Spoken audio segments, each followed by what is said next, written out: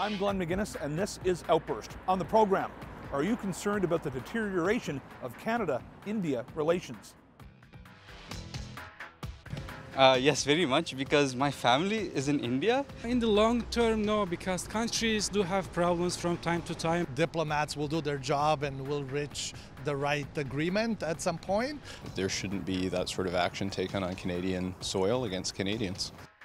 But first, many of us have been seeing and even feeling the effects of a strained economy brought on by a pandemic, inflation, and higher interest rates put in place to bring those inflation numbers down. Currently, Canada's unemployment rate sits at roughly 5.5%. But the youth unemployment rate in this country is sitting at double that, at 11%.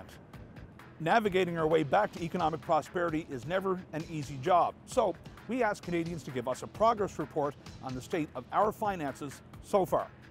Our question On a scale of 1 to 10, how do you feel Canada is doing as a country economically?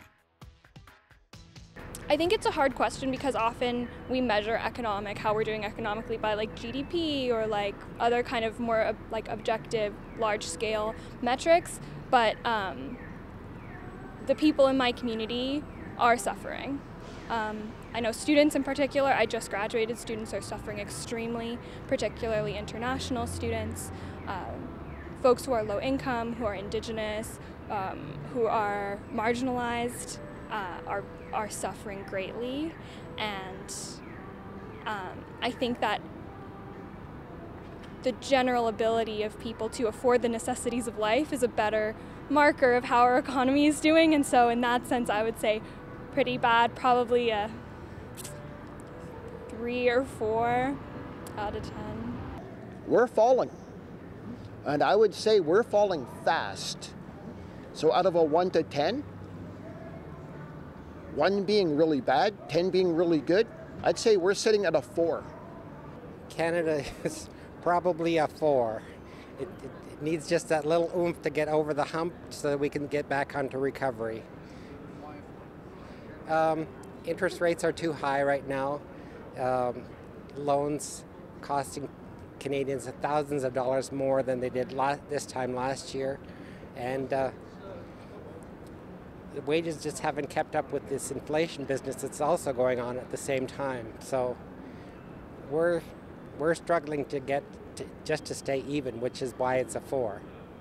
I'd say we're at about a six or seven out of ten, reasonably decent. I think our central bank has done an okay job. Certainly in COVID, our economy required support. And by support, that meant 0% interest rates and a lot of money printing. With that, we're suffering the effects the hangover, so to speak, which is inflation. Two.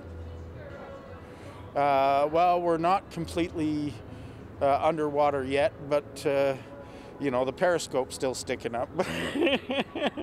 but that's going down fast. Uh, I don't know if we can recover from it. 7.5. Why 7.5? Because the world is not doing well overall, and Canada is comparatively doing better than most countries in the world you think it's deserving of a higher score? It does. Maybe at least nine, considering the resources we have, the economic advantages we have. I think it deserves at least a nine. Right now, compared to how we've done historically, I would say probably a three. I think if you compare this with developing countries, for example, we're obviously at 22 but it really depends what your what your scale is. If it's a historical scale against itself i think we're doing pretty poorly. I think if it's a it's a it's a scale against the world i think we're still doing pretty well. I think we have it pretty good here. Um, i would say having just come from portugal and the us canada is doing um, a solid nine. That's a high score it is high score because uh, um, the, our streets are clean, the, the people are fed. Uh, on the whole, it um, the companies are running, uh, small businesses are operating. I think we're doing all right. I'd say we're doing around seven, seven and a half. I just feel that the tax burden and the bureaucratic burden, uh, especially in the province of Quebec, where you've got multi layers of everything, and it's just cost prohibitive. Hence, all the companies going to Ontario where they just open the door and make things easier for companies to set up shop. I'll give it five. I think we could do a lot better, but I think we could do a lot worse. Uh, I think we need to change in Ottawa to uh, do better economically. One. Sorry. Um, prices are going up. Uh, living is hard. If you go to, I'm from Nova Scotia, and like, I don't know if Newfoundland has this or not, but like, there's people living in tents, like families, not not not people without jobs, people with jobs, and they're living in tents in a park. That's wrong. That is so wrong. There's something wrong with our government. There's something wrong with the the world if that that happens in today's society.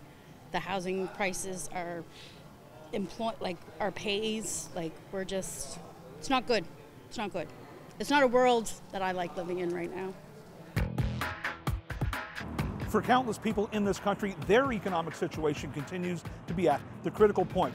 With the price of groceries, gas, utilities, rent, the list goes on, climbing more and more every year. Many Canadians don't know where to turn next. The idea of a guaranteed livable basic income has been floated around before, and many people feel it's exactly what's needed to help them relieve their financial stress.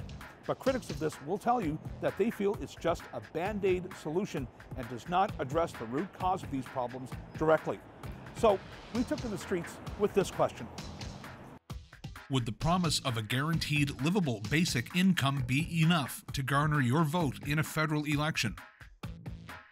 No, I think it's. I, I, care about a lot more issues than just that particular basic living income issue. I think that's that's an important issue, obviously, given the economy.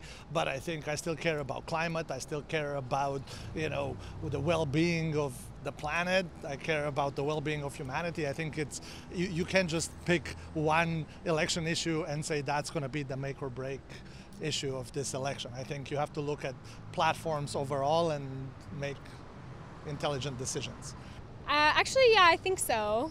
Um, because I do think that it could solve quite a few problems for a lot of Canadians, and um, potentially, especially like our um, homeless population, um, people struggling to make ends meet. And I think that that would be um, a good, sustainable living cost, as long as it is genuinely a basic living, like it, you know, what you can live off of. uh, no. Because uh, I, uh, yeah, I see that as uh, very difficult to do. Okay, tell me why. Because I feel we might not have enough financial resources to do that. So, because money has to come from somewhere. Yes, yeah, that would that would give my support. Um, I think that's very reasonable, and uh, you know, I think uh, it would it would support people to actually do the work, not just have a job for the sake of having a job, but do things that they actually like and are passionate about, and and, and kind of pursue pursue their dreams, which I think is also like a privilege to be able to have that opportunity here in Canada that we that other other countries won't have. So uh, it does garner my support. That idea is great, but I would need to know how, like, someone would make that happen and the background of what what those promises are kind of connecting to. You feel it's easier said than done? I, I agree with that, yes. I'm not sure that just that would be enough to get my vote. Uh, I think there's some places that have voted even against that, like Sweden uh, looked into it, did some research, and thought that uh, that wouldn't be the way to go. I'd have to hear more about it, of course, uh, but just as a blanket statement, no. Another hard one to answer. Possible. I'm not at that stage yet. Uh, I'll be retired in about five or six years, but um, it would be uh, a good thing. Um, everybody needs a basic guaranteed income. I don't think the seniors, especially, have enough of a um, income now to keep them sustainable, especially with the cost of living and everything else. No, because they're going to take the money from where? It's not. It's a. It doesn't grow on trees, as they say. So the money has to come from somewhere. Someone's going to lose out if I get that full minimum uh, income. Uh, yes, absolutely. I mean, it's just a dignity, for simple dignity. I mean, you know, everybody should have a livable income. It's, you know, It's, it's simple as it's simple, simple di- uh, uh, issue- issue of dignity. No, because I think it depends where you live in Canada. Basic salary depends on where you live. Cost of living is not the same equally throughout Canada. And um, you know, if you if you raise minimum wage, let's say, then the price of the apple will go up because small businesses will either shut down, they have to increase their salaries. So, no, I don't agree with that. I tend not to be a one one issue voter, so I don't think so. Um, if it was combined with other things, maybe I would, but not just on a one issue. Well, we already have that, you know, with caveats. You know, you have to apply and qualify and stuff for welfare or any benefit that you would get from the government. Um, is that not enough? Do we do we need to guarantee that people don't have to go to school or or at least go out and work for a living when they're young and able to? You know, I'm old, so it you know, it's kind of a moot point for me, but you know, I'm thinking, you know, don't people want to get ahead and try to own their own home and, you know, live the life they want?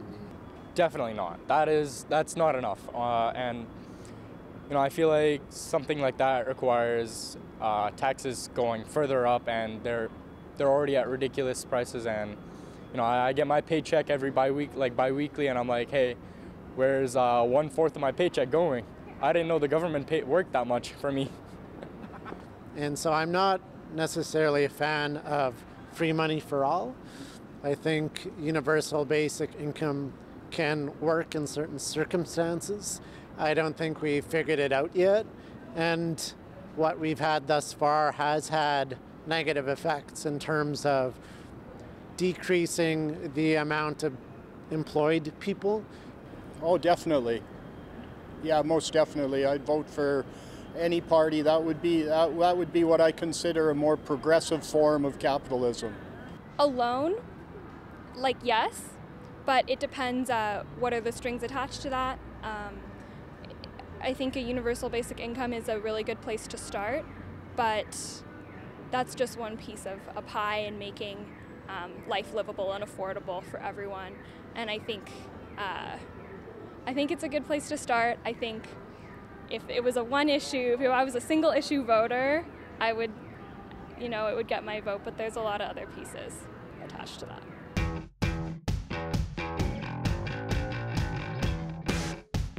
In which year was Jean Chrétien first elected Prime Minister of Canada? 1984, 1988, or 1993? 84, 88, 93. N- 93? I'm going to go with 88. 93. 84. 93. Hmm, this is before my time. I'm gonna say 1993. 88. I had 93 in my head. Me too. You're both correct. I'm, I'm glad you're happy. After years as a federal cabinet minister under Lester Pearson and Pierre Trudeau, Jean Chrétien became Prime Minister of Canada in 1993. The 1993 federal election was one of the most memorable in Canadian history. With the Progressive Conservatives firmly holding power since 1984, they were reduced to just two seats. It was the worst defeat of a federal government in the country's history. On November 4th, 1993, Jean Chrétien was sworn in as Canada's 20th Prime Minister.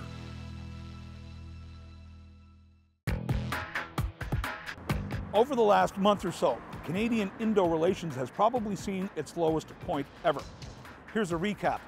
Recently, Prime Minister Justin Trudeau stood up in the House of Commons to suggest that there was credible evidence that the Indian government was behind the assassination of a Sikh activist on Canadian soil outside of a Sikh temple in Surrey, BC. The Indian government denies any involvement in this murder and says this man had ties to terrorism. Ever since, the relations between our two countries has bottomed out. But it's been reported that India wants more than half of the 61 Canadian diplomats in that country out. But Canada is still trying to cool things down because of the important trade relationship between our two countries. So we took this question to Canadians. Are you concerned about the deterioration of Canada India relations? I don't know the deep details, but there's no way, in my opinion, that the Canadian government would get involved with accusing India if they didn't have some factual information. The fact that the Indians from the United States and around the world all met in Canada this weekend tells me there's a lot more behind the story.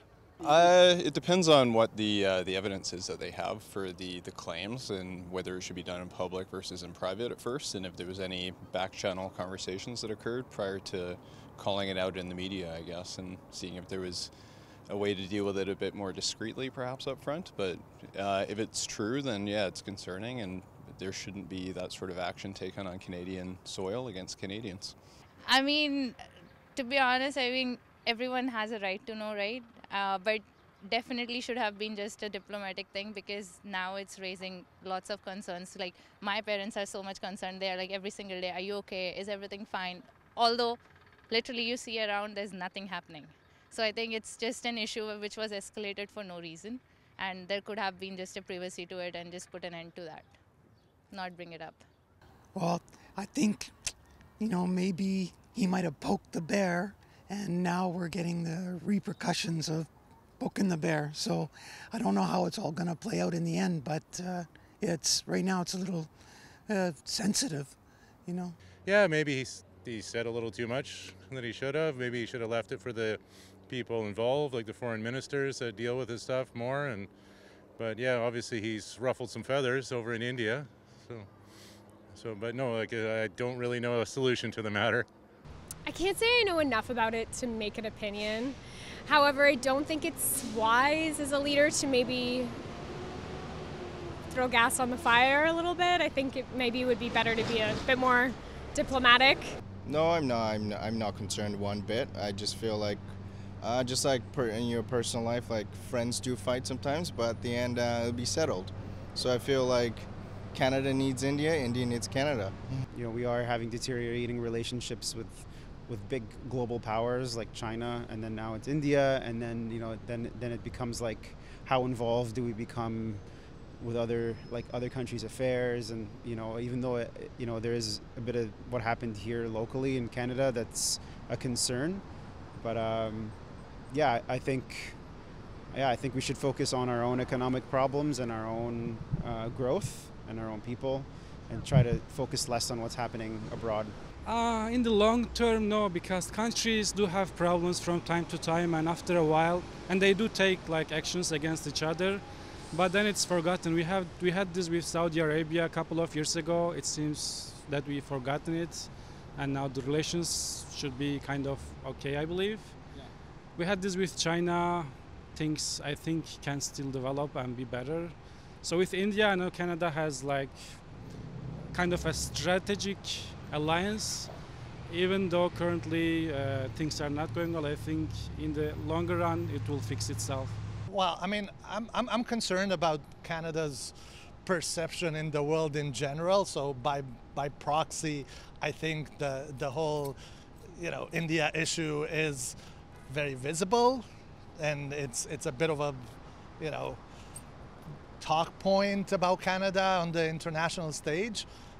Uh, I'm, I'm not concerned. I think diplomats will do their job and will reach the right agreement at some point. I think it's definitely a charged situation, and I don't think there's an easy answer to how to make that go away. So I, I trust that the government and the intelligence agencies and whoever was involved in you know that particular issue with the assassination on Canadian soil of a Canadian citizen uh, will solve itself through the proper channel. So I, I, me as a as a, as a private citizen, I don't think I know enough, and obviously I'm not. I don't have security briefings given to me to be able to tell you how that's going to play out in the long term and what's what's happening in the back channels around that issue.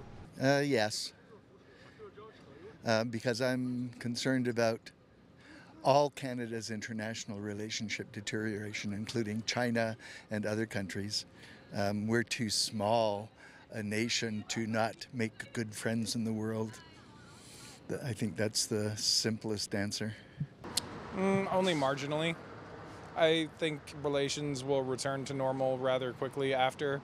There's always a new trendy, I don't know, a new trendy scandal, fiasco, something, right? Uh, I think we have bigger issues to look at as far as Canada goes and international relations. I'm also Indian by myself, like, you know, but I was born in the States, so I do have Indian parents at home, and, you know, it's kind of a, a weird situation right now, and yeah, we're just hoping everything just maintains and just goes back to it, what it used to be, hopefully. Uh, yes, very much, because my family is in India, so it is like a very big problem, because like when my grandparents want to come here, eh, they can't. They, they're very scared, so yeah, it's a, it's a problem for me. Yeah, I, I think for sure I am. I think I'm obviously of Indian heritage, so it's something I take seriously. And being also Canadian, it's it's important and close to home, for sure. Definitely a little bit. I mean, you want to be like in good relation with the rest of the world, especially when we're kind of a smaller country and not smaller in size, but I mean smaller in economic impact and military power and stuff like that. And I mean, a country like India is so powerful, and if they want to team up with someone like China, we definitely have to be worried about that. Every year, roughly a quarter million people experience homelessness in every corner of this country. With cold weather just around the bend, Canadian winters can prove to be deadly for those with no real option for proper food or shelter. We talk to Canadians about what ideas they might have to make things better for those who need it most. Our question What could be done to improve poverty and homelessness on our streets? It's just such a complicated question because it's really nuanced. Um, without actually having a background knowledge of how these things work, I would say probably we need to get to the root cause of why people are on the streets. Maybe going towards um, more mental illness, um, you know, uh, like support, um, addiction support. Um, that's like really sustainable for people and is um, long term. Well, I live uh, in Vancouver in Gastown, which is actually um, um, ground zero for the downtown east side and homelessness.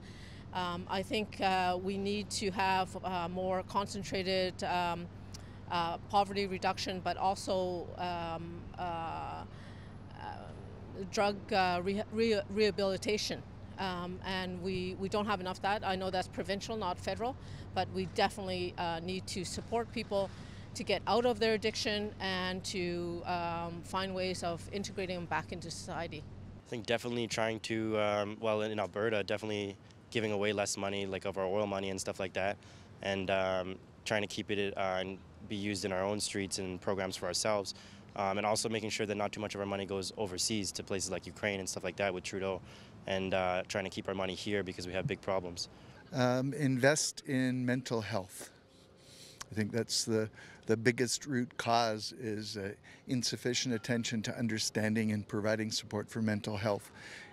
If I choose to be a nomad and live in the street and I have my wits about me, I will do just fine.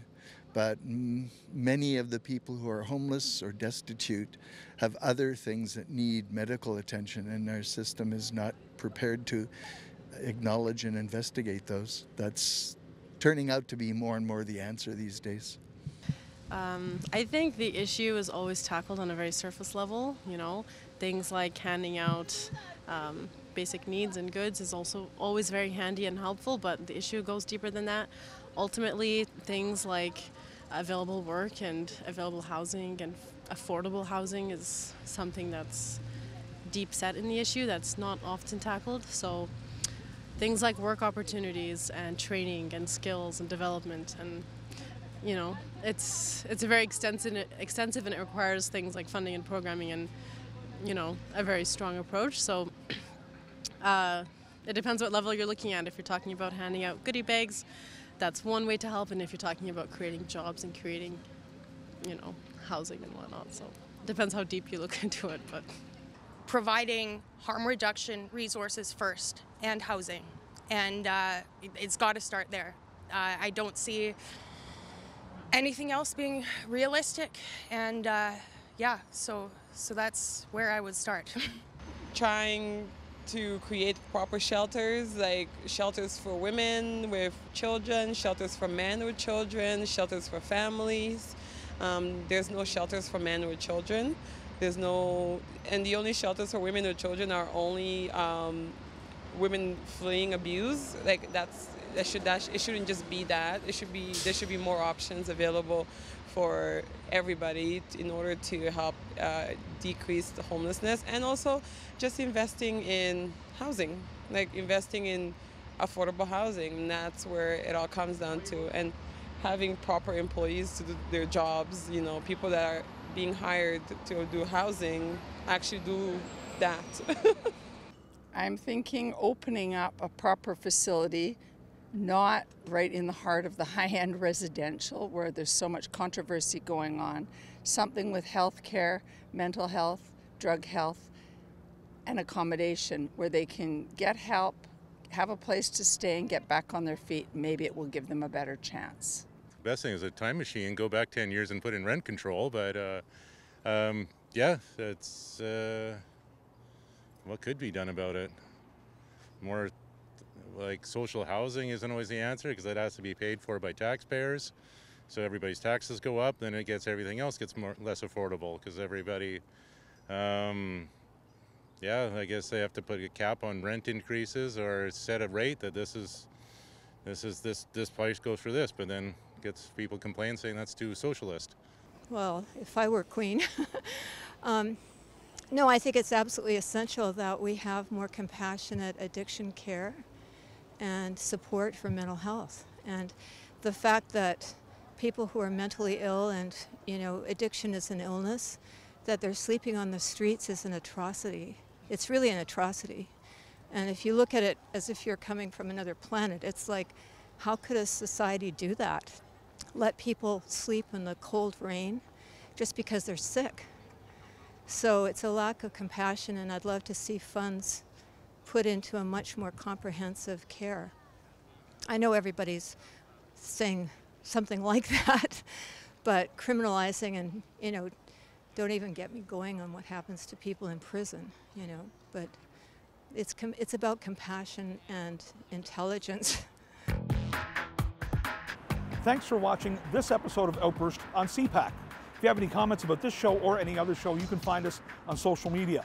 You can also find us on our website at www.cpac.ca. I'm Glenn McGinnis, and on behalf of my colleagues at the Cable Public Affairs Channel, thanks for watching. We'll see you next time.